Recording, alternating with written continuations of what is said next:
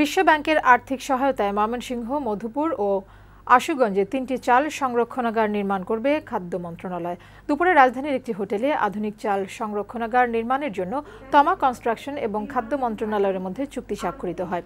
আধুনিক এই খাদ্য সংশোধনা সংরক্ষণাগার নির্মাণে ব্যয় হবে প্রায় নয়শো ষাট কোটি টাকা এবং দুই লাখ পাঁচ হাজার নয়শো সত্তর মেট্রিক টন চাল ধারণ করতে পারবে এই তিনটি রাইস সাইলোয়ে। চুক্তি স্বাক্ষর অনুষ্ঠানে প্রধান অতিথি খাদ্যমন্ত্রী কামরুল ইসলাম বলেন, বাংলাদেশ বর্তমানে খাদ্যের স্বয়ং সম্পূর্ণ এবং চালের মূল্য জনগণের ক্রয় সীমার মধ্যেই আছে। আইটির মাধ্যমে সমস্ত গুদামগুলোকে আমরা নিয়ে আসতে পারলে ভবিষ্যতে সেই অনিয়মটা দূরীভূত হবে।